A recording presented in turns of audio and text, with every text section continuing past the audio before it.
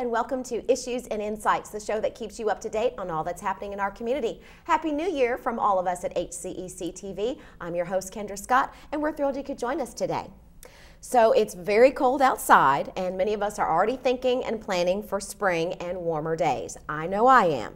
The team at the City of Elizabethtown Parks and Recreation Department is also definitely in that mode and planning for a busy season here in their off season. So we're looking forward to another successful year, and here to share with us a little bit about all the great things going on at the Parks and Recreation Department is our director, Mr. Seth Breitner, and the sports park manager, Jason Daly. Welcome, guys. Thank you. Thank you. Happy New Year. Happy New Year. So it was a great, successful season in 2018, and so we're ready for 2019. So I know everyone thinks, oh, this must be your downtime, but really this is probably busy for you all as well because you're planning and gearing up. So tell us what's going on at Parks and Rec. Yeah, definitely. It's funny because when the calendar turns to January, it's like you get in full mood Mm-hmm. and you uh, full mode. You just start hit the ground running. You you have to get ready for the season that's coming up, and part of that is hiring seasonal staff and putting all those positions into place. Uh, we've got a lot of things on the calendar this year, so it's going to be a big year. Um, but this is our planning time. This is our time to get ready because you can't just wait till the weather breaks. Like you said, you've got to be ready to go now. You really do. So how many folks are you looking for this year? We hire a lot of seasonal staff. Um, it- it's surprising because of all the things that we do. We have a relatively small full-time crew. Mm-hmm. It's about 25 to 28 people, Wow. and then we usually hire between the sports park and Parks and Rec mm-hmm. upwards of 200 seasonal staff. Wow. Yes, a lot of people. That is a lot of people. You're right. You do have to start now. so what types of folks are you looking for and what skills are you looking for? We have anything from maintenance positions to mm-hmm. concession positions to office type positions. Um, there's anything in between, and we hire anybody from the high school age all the way up. If somebody's retired and looking for um, some additional work and things like that, um, those people, um, you know, everybody in between is what we're looking for. Oh, so that's good. So they don't necessarily have to have experience or have a background in Parks and Rec or restaurant management or whatever. Everyone can really be trained. So, so you're doing some job fairs and some things like that. Tell us we about are. that. Jason will tell a little bit about the sports park job fair coming up. Very cool. Yeah, we're going to have a job fair on Monday, January the 21st, uh, out at the sports park, um, and, and we're at 1401 West Park Road. And I know, even though we're in town, and we're kind of hard to find if you've never been out that way before. So um, we're going to hold our job fair on the 21st um, for our seasonal staff. And uh, like Seth mentioned, we're going to be looking for uh, grounds maintenance, building maintenance, uh, event and tournament operations, and concessions operations. Um, and just because those things, you may not know exactly what those are, or you may or may not have experience in those areas. That that uh, that doesn't necessarily affect um, you know your uh, your qualifications for those positions because we do train. Um, if you happen to have some background in those things, that's just a, a plus for us. So um, we're looking for people who uh, that any of those areas may sound interesting to them. And if you're not sure, then um, come out and talk to us anyway, and we'll tell you more about it. And then if it's not for you, that's fine. But if it's interesting, we'll find something that fits for you. I think it sounds like it'd be a lot of fun. Um, I think there'd be a lot of perks to, to working in Parks and Rec because hello, recreation is in the name. So, Right. um, so talk about some of those benefits and enjoyable aspects of being a part of, of your team. I'll That- go. You can both say it. we'll take turns. Because we got a lot. I know. Tell us. Uh, well, one of the unique things about working um, at the sports park specifically is that we do so many different types of events um, during a season. You know, we're, we're, we're hosting local leagues at the park, um, you know, soccer, softball, um, lacrosse, things like that. But we do, uh, we'll do football, um, we'll, we'll do cross country, we'll do half marathon. Um, so we just, we're exposed to so many different things and so many different organizations that um, we kind of joke about it, but it's true. You know, every week is different for us. So if you think, hey, that was really, that's not really my thing, well, guess what? Next week we're going to do something kind of different. Right. So that's something that's really unique about the sports park specifically. Um, and also, you know, if you like to be outdoors and you like athletics, you like to be around it, um, that's kind of the environment you thrive in. That's, that's our business. So um, that's one of the biggest perks about it, I think. Well, I think you meet people from all across the country. I mean, you've had some really cool events there, all the way from, like you said, Little League to Mm-hmm. adults that, that are playing incredible sports. So for folks that maybe have never seen lacrosse or Yep. football or whatever, I mean, it's right there, you know, in their backyard. yeah, you can get some exposure to some some different experiences and. Um, we, you know, I think as of 2018, we've had visitors from 42 of the 50 states. Wow. So um, you can meet all kinds of different people. Um, you can probably see some things that you haven't seen before if your lacrosse isn't, uh, you know, very big in Kentucky, but you'll see some big time lacrosse and things like that. So um, we're, we're unique and we, we expose ourselves and, and uh, dabble in a little bit of everything. So. I love that. What would you like to add to that, Seth? Because there is more. Yeah, definitely. so, you know, and that's just one aspect with the sports park. Uh, when you start looking at all the parks and recreation facilities across the city, you have um, facilities like Freeman Lake Park. Um, there's so many opportunities there. You have American Legion Park in the water park. Um, that's a big thing that's coming up is uh, we will start to uh, accept applications for our lifeguards oh, um, and some of our uh, front desk cashiers and management and stuff there because the first part of April is when we start training our guards mm-hmm. um, and start certifying them so they're ready to go by that Memorial Day weekend. But you know the pool will open Memorial Day weekend and it'll be solid through Labor Day. Um, and uh, it's been a huge asset for the city. We've had so many visitors. I think last year at the pool we had about 33,000 people come oh, through the gate. So, you know, there's those opportunities. Um, there's opportunities um, even in the other like ballpark maintenance and different mm-hmm. things that we do. And um, we we work with all the local youth sports leagues. Mm-hmm. those start up in March with practices, and then seasons start in April. Um, and they would go through about uh, the middle of June to the end of June. We have a little bit of break, and then we come back in the fall and do fall sports. So there's something going on all the time, all the time. in the parks and recreation. And like Jason said, there's something different for everybody. It's not one of those jobs where you know it's like a factory or something else where you just do the same thing mm-hmm. day in and day out. There's literally something different. And for people that like to be outdoors and to enjoy nature, um, or people that just like to um, work with other people in the mm-hmm. community, um, there's great things involved with that. We we're involved with a lot of the city events that mm-hmm. take place. Um, there's a lot out at Freeman Lake Park or downtown. Um, so there are so many opportunities. I really see those positions. You're kind of like ambassadors for the city, in all honesty, because you are. You're at all the events. You're coordinating big, you know, special events, folks that come in out of out of town, out of state, um, and so you're the faces that people see and interact with. So for me, I think it's so important that the folks are in these roles um, that are friendly and welcoming, because that's the impression they get of our community. So absolutely, um, it's and, important what you do. And, and that's one thing that we uh, strive. Jason and I both, with our staff and all of the uh, people on board, is you know, we are customer service oriented because um, out at the sports park, that might be the first face that somebody visiting mm-hmm. sees of the city. So that impression is extremely important. And the same out in our parks and recreation uh, facilities as well. So uh, customer service is a huge importance, uh, and we place a big importance on that. I'm glad to hear that. So when folks come to your job fair, what do they need to bring?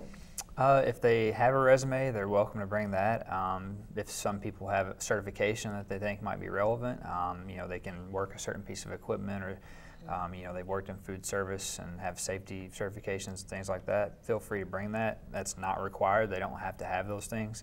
Um, if you do have a resume, again, we would love to see it, but really just bring yourself and we just want to have a conversation with you and kind of see what you're interested in. Maybe you have this is your first job you're looking at, or maybe you're retired, you've had 10 other jobs, and you know we'd love to just find out more about you and see how maybe you could fit with our team and uh, in the positions that we have. And um, so really just bring yourself. Well, that's easy enough. Yep. I like that. Yep. Um, and how long will folk, can folks expect to be employed? Is it just through the summer? Will it be through the fall? What type of length of time are we looking at? We, we stagger a lot of our positions. The sports park season, for instance, starts um, with tournaments and different things around mm-hmm. the 1st of March and it runs until the end of November. So that is kind of our season, but there are other things that take place before and after that. So we've always tried to stagger those positions, and the same with Parks and Recreation as well. Mm-hmm. Now, we are bound by federal laws and different things, so people can expect um, eight to nine months of employment mm-hmm. before there is a mandatory layoff for a seasonal position. Uh, but depending on when that start date is, um, we usually try to go to that eight or nine months because, again, we hire so many people and so many people have different schedules mm-hmm. and different things, especially, you know, uh, kids that are in high school and they've got sports and things going on. We try to work with those schedules. So, um, expect about eight to nine months of employment. Well, that's great. And and can any of those positions maybe transition into full time? Potentially, yes. And and honestly, um, we've had several positions within both the sports park and Parks and Recreation where uh, we've had really good seasonal uh, people, and maybe they've been on for a season or even multiple seasons, mm-hmm. and a position has opened up. And those are usually the first people we look at because sure. that's who we know. Right, yeah. And they've got a great background and mm-hmm. they know the gig. So that's our proving ground. that's, that's right. right. you can do that, you can do anything, right? That's right. Is that yep. how it goes?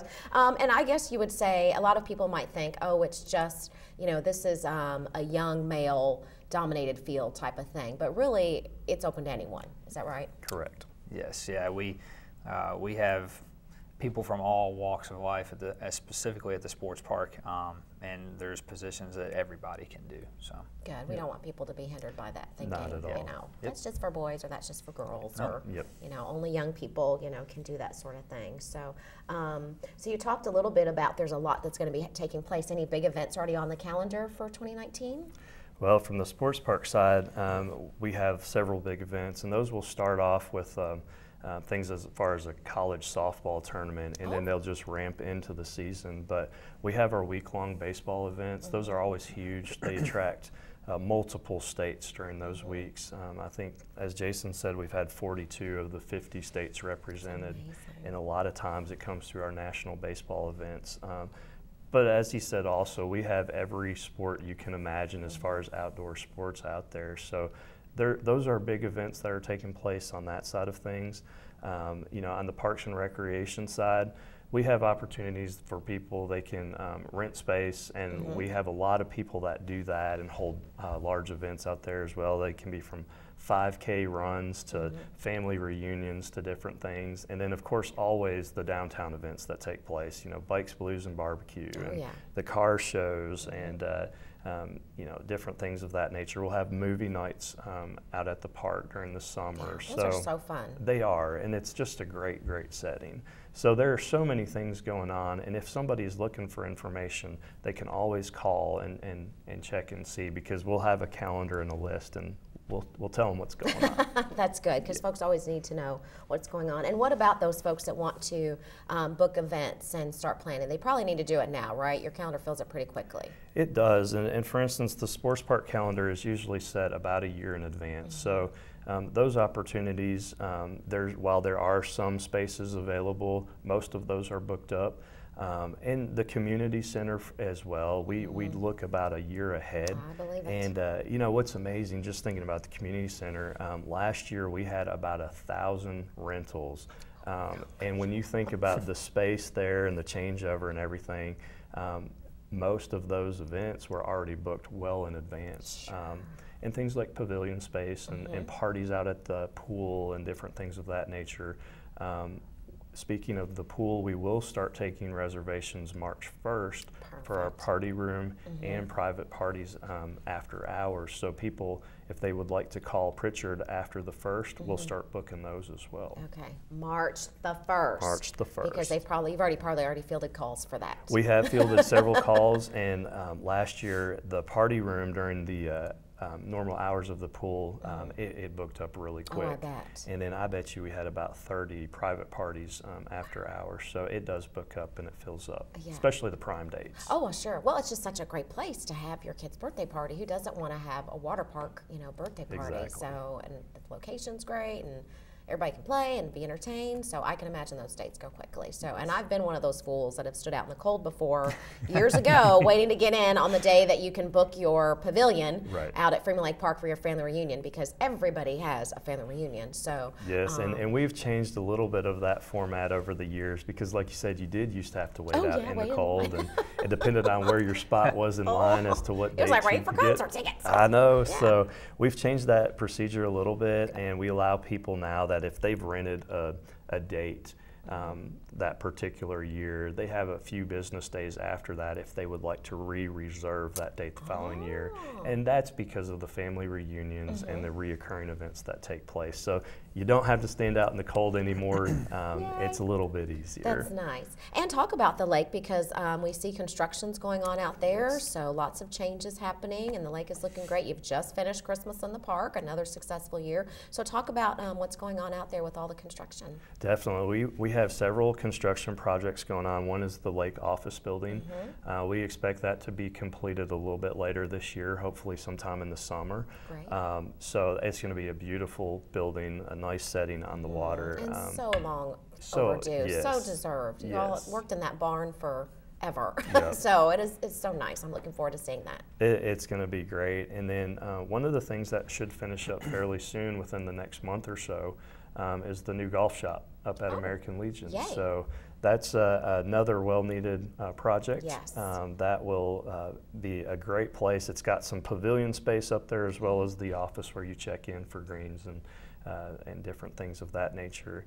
And uh, we're always looking at you know improving and, and adding to our parks and uh, whether it's from you know our playgrounds to our pavilions to all of our other amenities, we're uh, always looking to, to try to do better than the year before. Right. Well, you guys do a marvelous job, and I think the little par three is one of the best kept secrets in E-Town. A lot of folks don't know that, and it's a great place to go if you're a beginning golfer, yes. learning how to golf, teaching someone to golf, um, and again, just awesome. And your staff, your staff is small as you mentioned, but they manage to keep all these you know plates in the air and, and all of our amenities going so well in the community. So yeah, huge shout out to them. We we could not do what we do without um, the good people that we have, and uh, um, they they make all the difference in the world. We're we are a full or a small full time staff, mm-hmm. um, and our, our, backbone is literally these seasonal positions. If we did not have them, we would not be able to do what we do. So we just encourage people if they're looking for something different they're looking for an opportunity to get outdoors and uh, you know interact with other people within the community, this very well may, might be the position for That's them. Right. That's awesome. Can folks also apply online, or do they have to always apply in person? They can apply online if you go to the City of Elizabethtown's website, mm-hmm. which right now is actually being revamped. Oh. Um, and that will be, um, as of next week, I believe, uh, the new website will be released. Oh, good. But on the human resources side, there should be a link for an application that they can go to.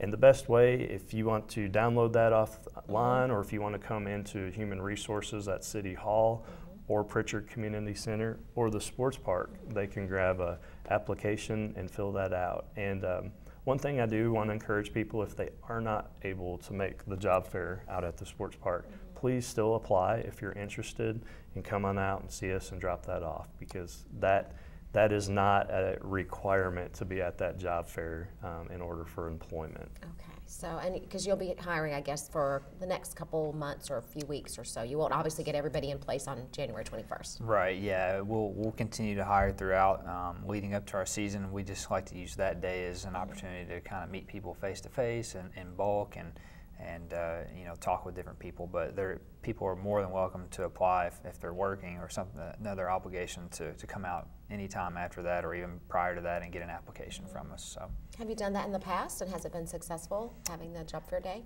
Yes, um, it has been, and, and even though uh, the 21st is a, is a holiday, it seems to, to work out better than we ever mm-hmm. expect on, on that Monday. Um, so it's it, that's a good date for us annually, and and uh, we always try to keep it that same date. Sure. And remind us of the times again that folks can do. Uh, we are going to uh, have sessions from 9 a.m. to noon, and then we'll take a little break and we'll have another session in the afternoon from 1 p.m. to 4 p.m. on that Monday, the 21st. Good deal. And folks don't need an appointment, it's just a job fair, so they can just literally show up at the Sports yep. Park come, which is also great because if they haven't seen it, then they get to see what it's yes. all about and yes. how gorgeous it is. And I don't know what all you all do to keep it maintained to make it look so awesome year round. I think it's the only place in town has green grass right now. So whatever you're doing, I want that at my yard. That would be fantastic. Um, and so, of course, a lot of folks are you know looking for employment. They're thinking, um, is the pay competitive? Will there be benefits? That type of thing. Can you talk a little bit about that? Um, on the pay side, um, it, it, definitely depends on the positions that people apply for. Um, that can start out from minimum wage and go up from there. Um, and as far as benefits and all of that, um, through seasonal employment, um, there's not really the benefits offered on the city side. Um, those come into the full-time positions. Um, however, the benefit I would say is just the work environment in general. Who else is going to be able to offer what you know Parks and Recreation can offer and those types of experiences? So um, I think that's why a lot of people return year after year. It's um, it's because of the type of job, the environment. Um, being able to do something different day in and day out, and uh, it really is rewarding. Heck yeah, you get to play outside. Yeah. Just saying, you know, sunshine and gardens and fun and all that good stuff. And again, like you said, watch sports teams. And I mean, that to me would not be work because you get to Right. That's right. you get to watch all the sports team stuff. It's not like when you're working at a stadium security. I feel bad; those guys are their backs are always to the action, so you don't know what's They going don't on. see a minute, You don't yeah. see a, a single touchdown. so you guys get to catch all the action. So and you all have been with the city now for for a little bit of time. So tell us about the the rewards for you and what you enjoy about being a part of um, the part, being the head of the Parks and Recreation. Well, definitely. Uh, I, for me, it's all of the things that I just said. You know, it, I, I love the diversity, um, and you never know. I, I was joking around one day because one day we were working on some maintenance of equipment, and then the very next day I was doing research on historical structures out at Freeman Lake and how do you maintain those, and we needed to do some renovations and different things. So. Um, it's really the diversity. I love the people that I work with. I think we have the best team I in the agree. world, and uh, and it really shows. And I'm really proud of everybody that um, is put forth 100% effort in the park. It, it, it really shows on all aspects, from the sports park to the to Freeman Lake to American Legion Park to all the ball, ballparks and things in the city. Um, people are really, really fortunate. The community is fortunate to have the facilities that we do, and I'm so happy to just be part of that. Well said. And what about you, Jason? How long have you been the manager out at the sports park? I've been the manager since uh, the fall of 2017, but I've been at the park since the spring of 16. So uh, I've been with the city for a few years, at the park for a few years.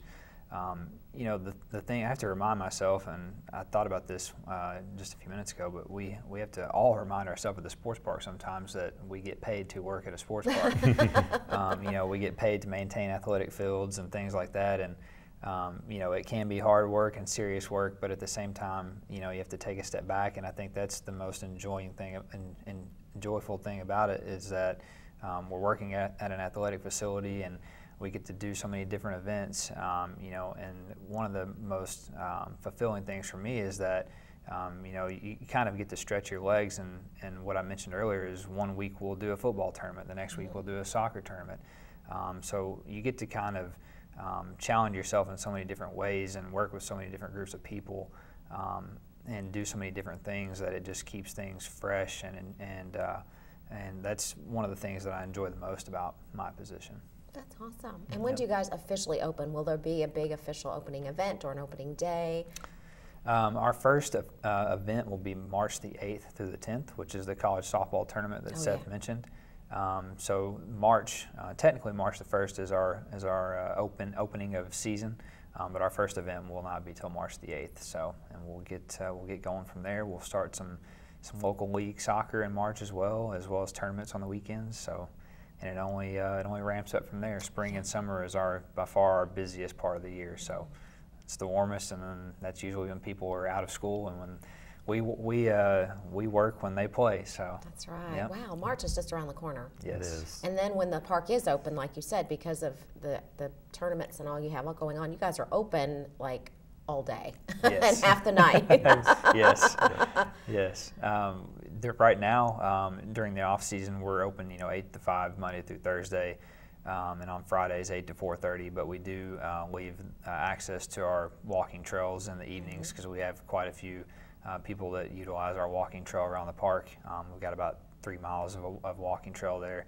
Um, and then in, when we get into the season, like you mentioned, we'll have evening hours and we'll start closing um, more so at dusk um, on the nights and, and weekends. So um, we'll have some kind of extended hours being open to the public for people who like to come out and use our trails and, and walk and bike and those sorts of things. So And again, I think people forget about that. That's Yes. another great amenity at the park. So, um, you know, you may not, there may not even be an event, or you may be taking a break or in between your kids' games, or whatever. There's that awesome walking trail, which Yes. um, I see people out there all the time. Yes. So, I mean, it's a little bit challenging course. It's not flat. Yes. So, if you like to walk or jog, that is a perfect um, trail. And It's, again, beautiful scenery. Yes, people compliment all the time that it's their favorite place to come and walk or jog or bike, and uh, we have regulars and we, we have dedicated regulars, people out there in the freezing cold, no matter what. So, uh, you know, I don't know if I could do it, but No, I don't. I'm more of a mall walker when it's Yes. winter time. so yeah, I will tell you that straight up. I am not that dedicated, but I admire those who do. Yes. They are they are really awesome. Um, and as you mentioned, so folks can get more information on the city website once it is it'll be new and improved, which will be awesome. So they can keep up to date kind of on all the activities going on, not at just the sports park, but the the entire city. Exactly, and that website's etownkentucky.org. Um, and people can also call Pritchard Community Center. Um, that number is 270 765 5551. Um, We'll be happy to assist, and uh, we can also transfer them out if they're looking for the lake or somebody like that. We can transfer directly from there. So they can call Pritchard, and then they can call the sports park as well if they've got questions, and that's 270 765 6132. Gosh, you're good. I didn't even have to ask you for that. Yeah. You guys have done this a time or two, which I love that. That's awesome. Um, and again, one more time, give us the date and time for the job fair. yes, it's Monday, January 21st, uh, and we'll have a morning session from 9 a.m. to noon, and then an afternoon session from 1 p.m. to 4 p.m. Cool. And we hope hundreds and hundreds of people show up. Please would be come out and see us. We'd, That's right. we'd prefer to be overwhelmed by Wouldn't the that be amount of attendance. Yes, and they don't have to live in the city of E-Town, right? You can live in Correct. anywhere in Hardin County or LaRue County or, or Yes. whatever. So that's that's really nice too. So come on out and be a part of all the great things going on at the Parks and Recreation Department. I may have to apply. I think that'd be really fun. I That'd be can great. I can serve up some Pepsis this summer. You know, I can I can greet people. It'll be awesome. I need to be one of those greeters at the park. Do you have greeters? Hey, we have everybody. Okay, I'm in. Sign me up. Sign me up. That'll be so much fun. So, like I said, these are all great opportunities. I hope folks will take advantage of it. We know there's a lot of folks in the job market, and this is a great time to become a part of the city of E-Town and, and join your team. So, like we mentioned, ambassadors for the city. Lots of great um, benefits, and um, you know what better job? You get all your vitamin D, and you get to meet new people and work with folks of all different backgrounds, um, and all the hot dogs you can eat. There right? Okay, there you go. There you go. well, we appreciate you and your staff and what you all do because we know you have a ton of acreage in this community to cover, um, like you said, with a small staff. So, but um, you make it awesome, and we are blessed to live here and blessed to have a great, um, active, thriving um, city parks and rec department. So, thank you for what you Thank do, you. and thank you all Thank for you. providing that quality of life for us and for being here today and sharing Thank with you. us, kicking our new year off right. So, we appreciate you watching and hope you enjoyed today's uh, edition. Again, you can contact the city for more information. Show up at the job fair on the 21st and help kick off spring and get ready for a great season here in E-Town. So, on behalf of HCEC TV, I'm Kendra Scott. Hope you have a great day. Stay warm, and we'll see you next time.